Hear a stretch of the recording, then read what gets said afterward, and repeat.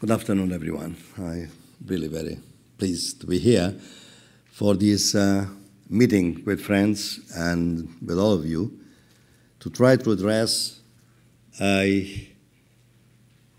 some of the issues that I think could be of interest to all of you, uh, particularly having in mind that a sense of exhaustion haunts the global north, in particular Europe. As we look at the financial crisis, as we look at the economic crisis, energetic crisis, there is a sense of exhaustion. Nothing, no alternative is possible. And all of us that teach students coming from different countries, they, for them, this is a kind of a deja vu. And they really get surprised why Europe, after all, has been exporting all these decisions, all these principles, all of a sudden, cannot apply them to itself.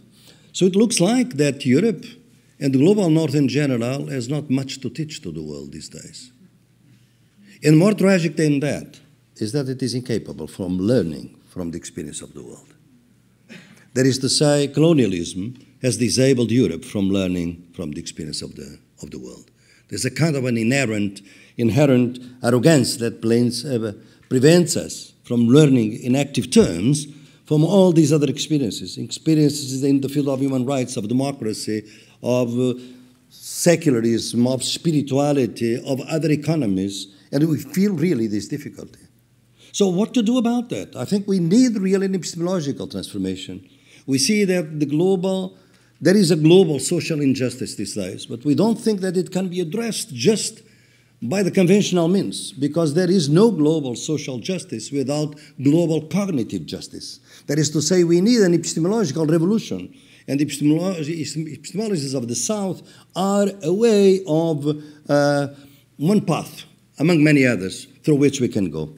How are we going to proceed? Well, in fact, this, we're talking about spaces of transformation. Let's look at uh, cartography. Cartography, as you know, is the technique, modern technique, ancient technique, but in modern times very elaborate, through which people draw maps. And they draw maps through very specific uh, procedures, three procedures uh, actually scales, uh, projections, and symbolizations. That's why we have maps. And these maps, in fact, since modernity, have been fraudulent maps uh, Mercator projections for those that know these things, they are fraudulent. Why? Because the north is not really the north, is the center. Because the west is not really the west, is the center. And therefore, the south is not really the south, is the periphery. And the east, of course, is not the east, is the periphery. And it is through this manipulation of locations of spaces that, in a sense, we managed to develop a cartography that uh, miniaturizes all the other possibilities coming from outside the West or from outside the North. And therefore, we manipulate the scale in such a way that we naturalize things that, seen from other perspectives, are quite uh, um, absurd. Why the local is less than global? Why the universal is more than the particular? It is not so obvious. Why do we say that some of the universal ideas are European ideas? Well, this is an oxymoron because if it is European, it's not universal. If it is universal, it is not European. But we have believed that all along. I mean, the School of Frankfurt is just about European universalism. Can we be surprised if uh, uh, uh, an African intellectuals, uh, intellectual calls uh, our European universalism a kind of a European tribalism? It could. He could or she could. But in fact, our instruments allow the first, don't allow the last. And that's why I think that at this point, we need an epistemological break. And this epistemological break, we have been calling it the epistemologies of the South. Why the South? The South here is not the geographical South. It's a metaphor for the unjust suffering caused by capitalism, colonialism, and patriarchy. And therefore, there is a South in the North. The undocumented migrant workers are the South inside Europe. The, the black kids in the District of Columbia or in the District of, uh, of um, in, the, in, in Washington, D.C., they are, of course, the South inside if we look, for instance, at their life expectancies compared to the life expectancies of the children in Bangladesh. There is a South within the North. And this South for us is an anti imperial South, because there is, of course, also an imperial South. The local elites that in the South benefit from this Uh, epistemological injustice that, based on the idea that there is one single type of valid knowledge, which is scientific knowledge, which is basically constructed and built around the North, to begin with, critical theory and social theory, you know, it was created at the turn of the century by five authors, or in five countries, in Germany, in Italy, in France, in the UK, and a little of it in, in the United States. While the realities of our world today by far exceeds that experience. So what, what we're witnessing is that the world is expanding and Europe is shrinking. And this is a spatial thing. And you have to see new cartographies, new topologies to account for this reality. Because if you don't account for that, then we are going to really uh, remain oblivious of all these different novelties, of these creations, creativities that is taking place around us, and we don't manage to learn from them democratic experiences, experience on other economies, human rights experiences, new constitutionalisms like the constitutionalisms in Ecuador and Bolivia that are discredited very easily around us. So we need an epistemology that gives credibility to this. And these are the epistemologies of the South, which is really a procedure to inquire into forms of knowledge and validation of knowledges from the perspectives of the people that have suffered in a systematic way the injustices of colonialism, capitalism, and patriarchy. It is really from the perspective of suffering, which of course is bodily embodied, as we know suffering is always is, that we can develop a different alternative, and a different uh, epistemological alternative. What are the main characteristics of this alternative in cartographic terms? Is that if you look really very, very uh, attentively, and particularly starting from this perspective, at maps, for instance, you can see maps are about spaces. But spaces, are the places. The spaces are dominated by the only sense that modernity has really privileged. That's the sense of vision. Since perspective was developed in painting in the 15th century, it became really the main way of looking at reality and therefore of feeling reality. All the other senses have disappeared. And the space is a way, through linear space and linear time, we just see, we don't smell, we don't taste, we don't touch. Places are the sites of resistance in modernity, precisely because they are the sites that can be smelled, touched, tasted and of course viewed also. So the epistemology here is increasing the capacity of our senses. But in order to do that, cannot really rely on scientific knowledge because scientific knowledge is reified on these forms of vision that are very, very much concentrated on vision and leave aside the rest. I even wrote a paper called Epistemology of Blindness in order to characterize precisely this syndrome. So we need other epistemologies. And these other epistemologies have to start from three basic ideas. The first one is that the experience, that there are many experiences in the world, they are almost infinite, the experiences of the world, in their diversity, and no general theory can account for them.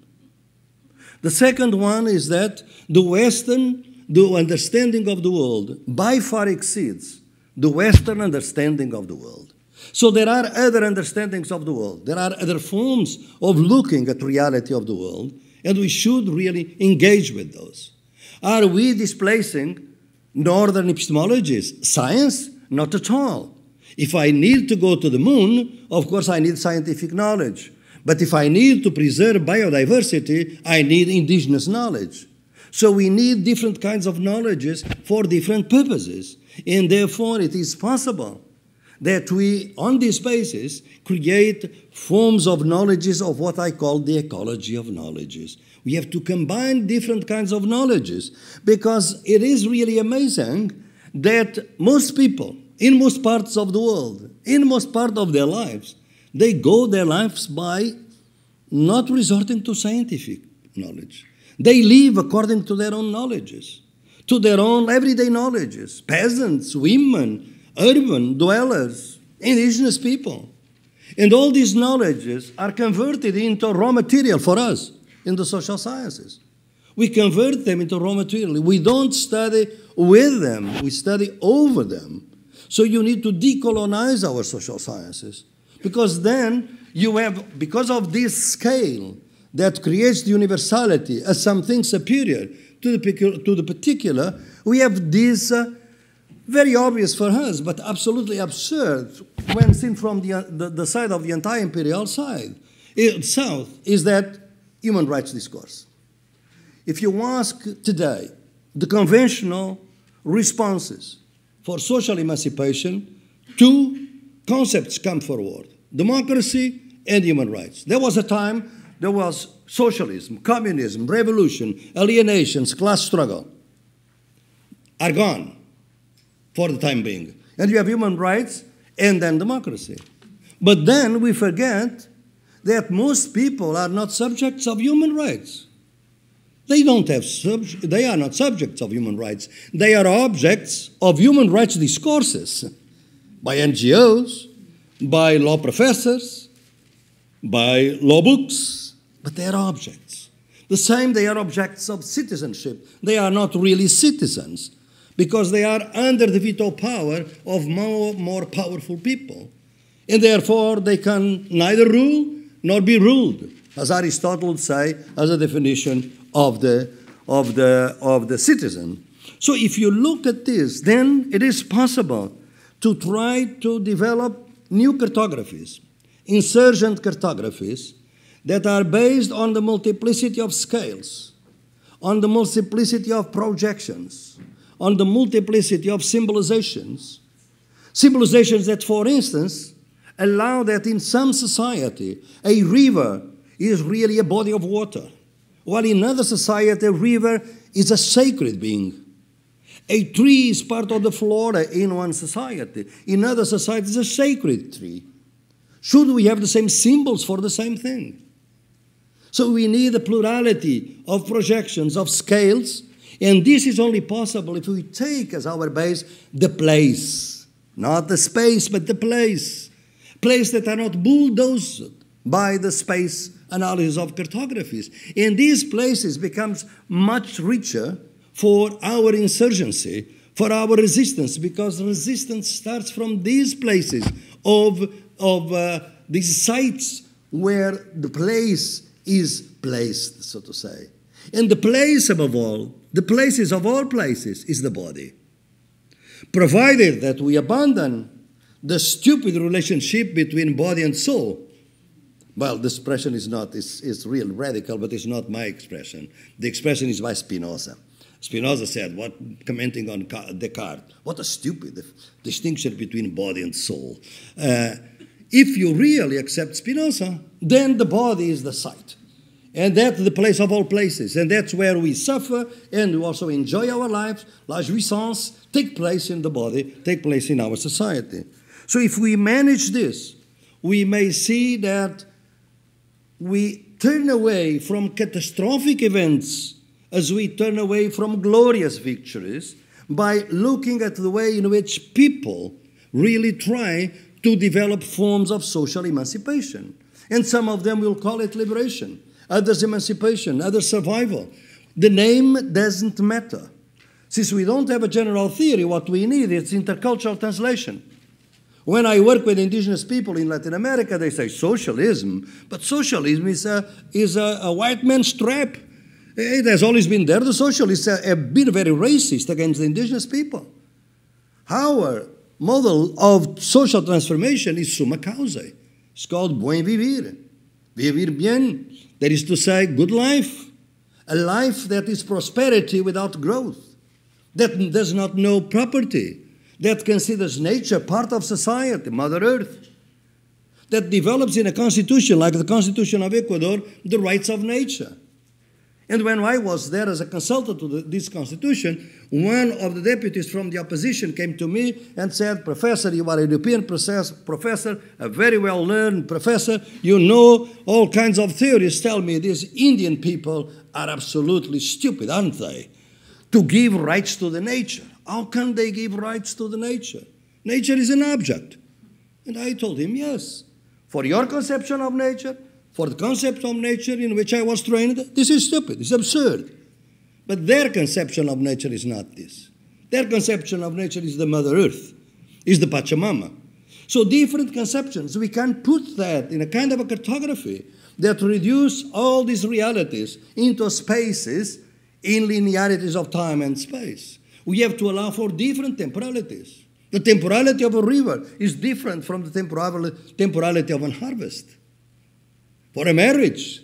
So you have to account for this diversity.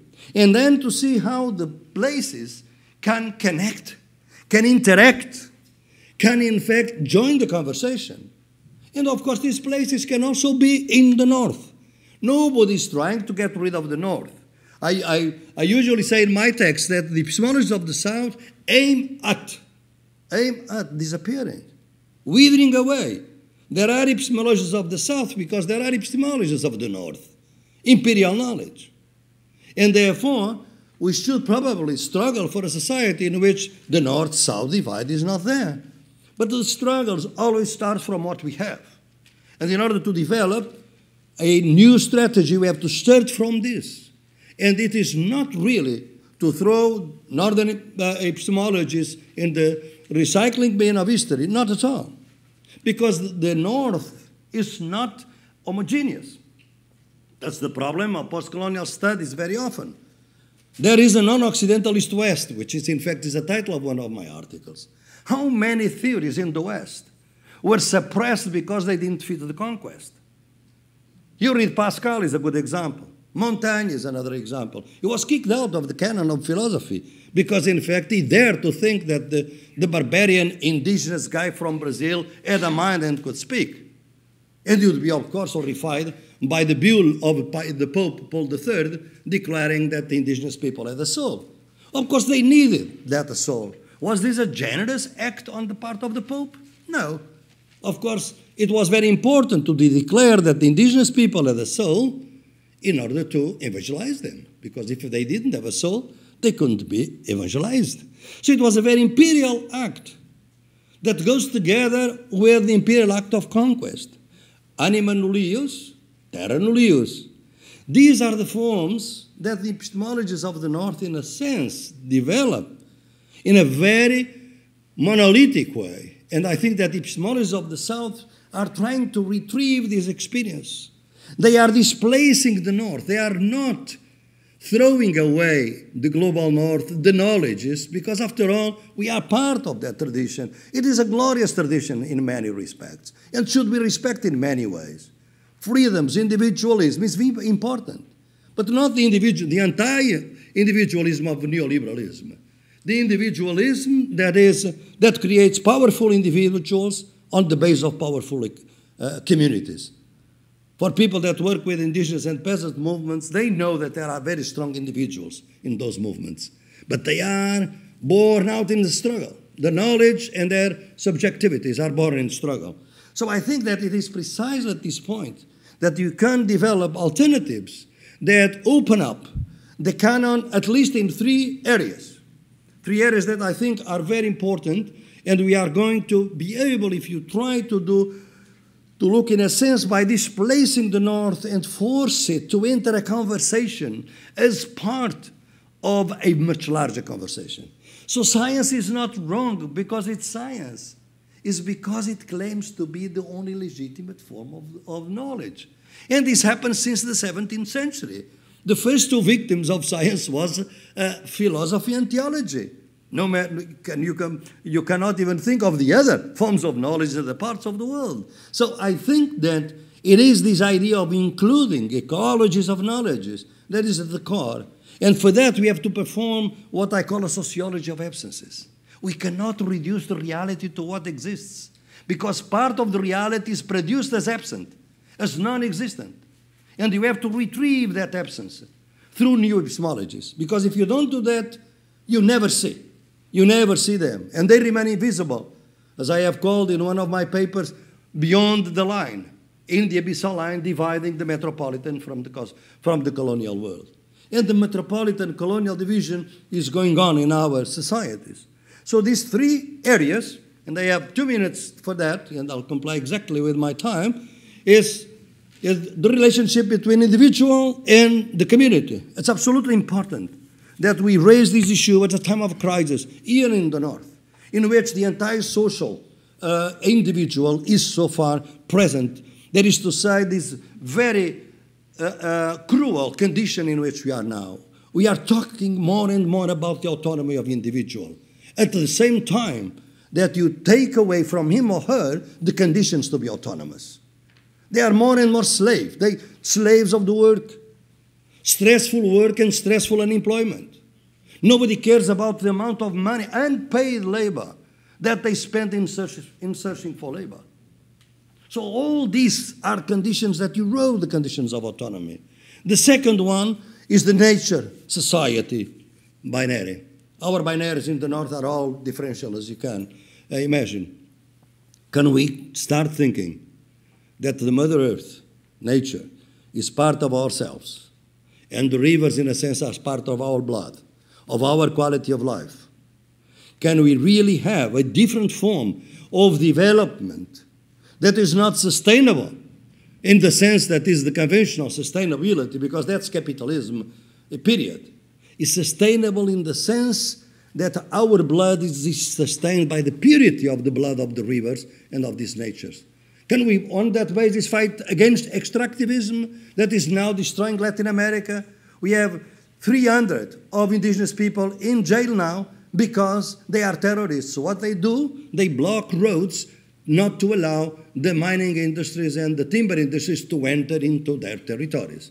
So it is the second one, the second challenge. And believe me, if we manage to do that, the conditions for reparations, we can debate, I can explain you in detail what it means, the reparation for uh, contaminating one river under our conceptions and other the conceptions of suba.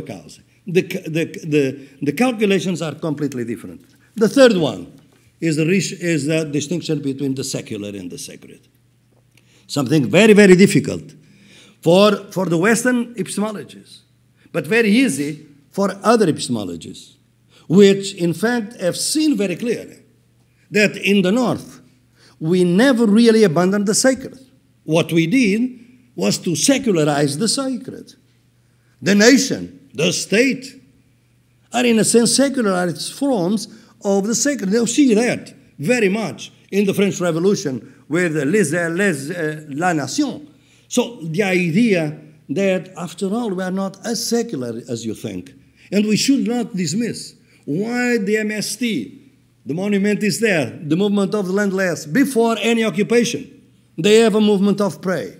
They have a movement of joy, of together, giving hands, hugging each other. They call that mystica is to create a sense of belongingness that is so intense that cannot be just, uh, you know, uh, formulated into any kinds of knowledge. Is a sentiment that takes a lot of touching, precisely one of our incapacities and one of the senses in which we are disabled. Thank you so much.